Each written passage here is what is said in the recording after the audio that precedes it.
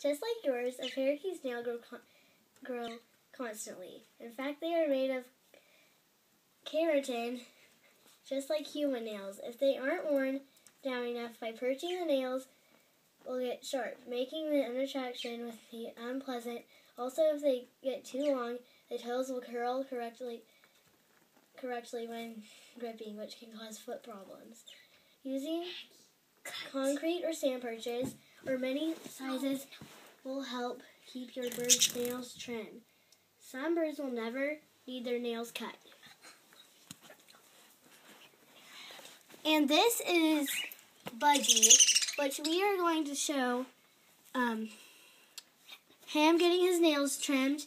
And you do not want to, if your nail, no, if your bird's nails are clear, not dark, you do, you can see a red line, and you do not want to cut there. So we are going to give you an example, and this is our assistant Georgia with um, my bird Budgie.